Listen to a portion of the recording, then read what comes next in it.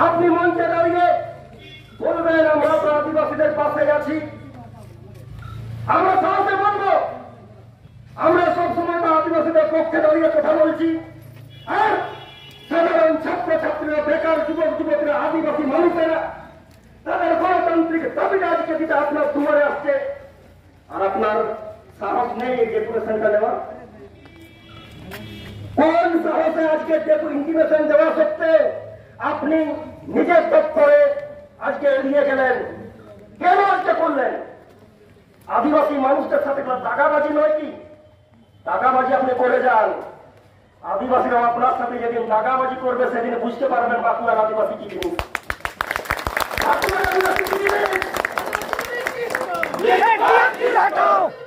আমি আমি বাঁকুড়ার আমার অত্যন্ত সম্মানীয় আমি বাঁকুড়ার অত্যন্ত সম্মানীয় পুলিশ প্রশাসনকে বাঁকুড়ার সম্মানীয় পুলিশ প্রশাসনের কাছে করজোড়ে নিবেদন করব হ্যাঁ করজোড়ে নিবেদন করব আমি করজোড়ে নিবেদন করে এসছি এতদিন।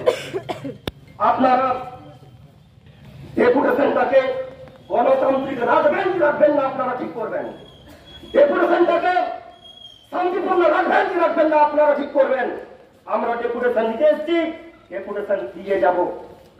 এবং আপনারা, আপনাদের যে সিস্টেম, আপনাদের যে মহানগর আপনাদের কীভাবে আমাদের ডিএম ম্যাডাম, ডিএম সাহেবের সাথে মিট করাবেন, আপনারা দায়িত্ব নিন। আজকে অবাক হয়ে যাবেন।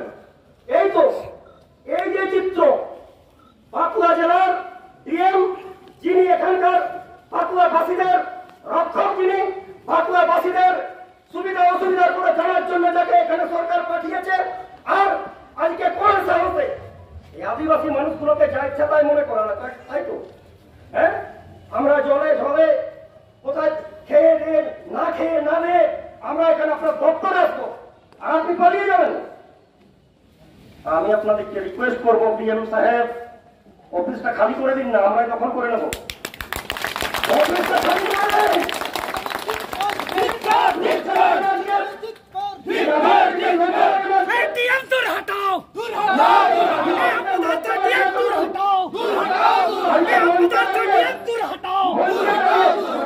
মঞ্চে দাঁড়িয়ে বড় বড় কথা বলবেন। আদিবাসীদের পক্ষে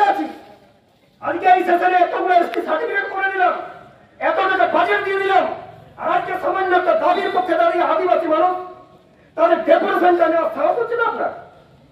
শুনে রাখুন আমরা সেই আদিবাসী মানুষ।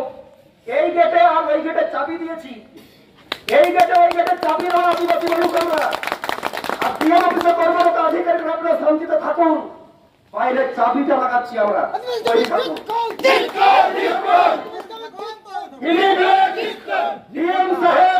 আমাদের ডেপুটেশন নেবেন কে নেবেন না ঠিক করুন নাহলে গেটে আমি ছবি দেখাতে পারব